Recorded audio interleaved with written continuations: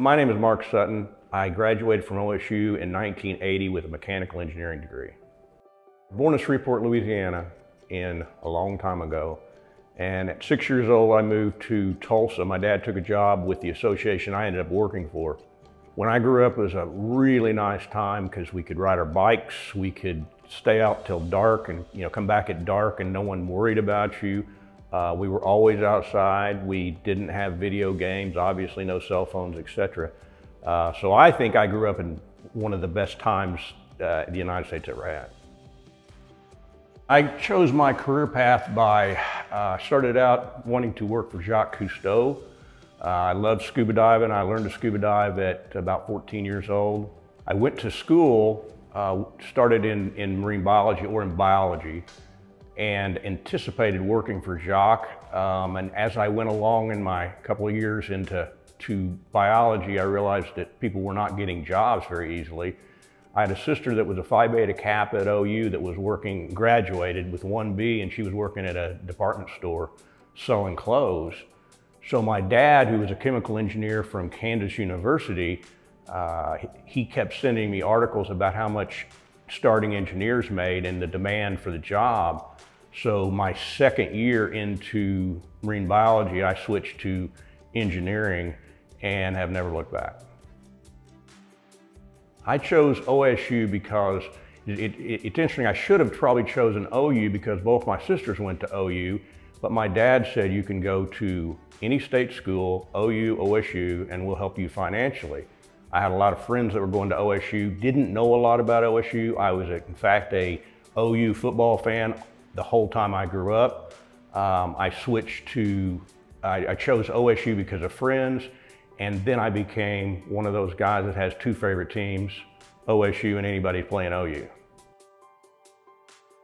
My time at OSU was, was really wonderful. I spent a little too long because I changed my major and my dad would say, you know, he took six years to get through school. That's not great.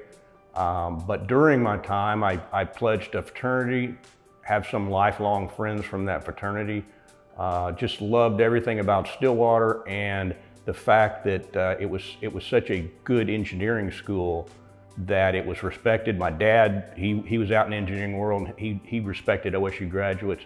So I, I thought that was the greatest choice I could have made. My time in the College of Engineering here at Stillwater prepared me mainly how to think. I always felt like I wasn't the, the typical engineer. Uh, I didn't like, when I got out of high school, I didn't want any more chemistry or physics or math. Why I, that's why I went into marine biology. Once I did it and got through it, I knew that I wasn't going to be a numbers cruncher. And that's not what I ended up in my career. I ended up being an association executive. So it prepared me mainly how to solve problems, how to think about it and look at it logically. I know my my, my last boss that when he first hired me, he said, uh, I want an engineer, not a business person, not anything. I want an engineer because I know the College of Engineering prepares you to learn how to think. My advice to any students at OSU was enjoy it, study hard, but enjoy it because it turned out to be some of the best, it will turn out to be some of the best times that you'll spend in your life, in my opinion, if you do it right and participate in basketball and go to the basketball games. We need more people at the basketball games. What Stillwater means is, is I have, I, I used to have a favorite color and it wasn't orange.